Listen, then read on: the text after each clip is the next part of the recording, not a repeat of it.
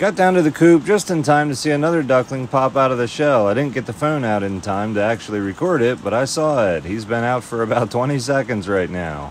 Usually all the eggs hatch within 48 hours of each other, and we're getting kind of close to that, but I see signs of life in the other two that are left. It looks like I'm going to have a 100% hatch rate out of the eggs that were underneath the mothers. I don't know if I'll try the incubator with the Muscovy ducks again. This natural process just seems to work a whole lot better.